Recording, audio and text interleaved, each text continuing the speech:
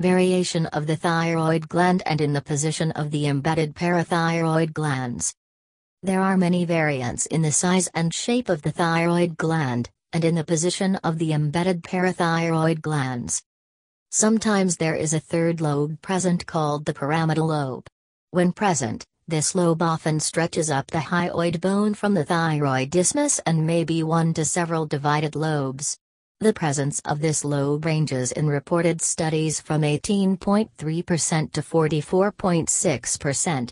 It was shown to more often arise from the left side and occasionally separated. The pyramidal lobe is also known as Lalouette's pyramid. The pyramidal lobe is a remnant of the thyroglossal duct which usually wastes away during the thyroid gland's descent. Small accessory thyroid glands may in fact occur anywhere along the thyroglossal duct, from the foramen cecum of the tongue to the position of the thyroid in the adult. A small horn at the back of the thyroid lobes, usually close to the recurrent laryngeal nerve and the inferior thyroid artery, is called Zuckerkandl's tubercle.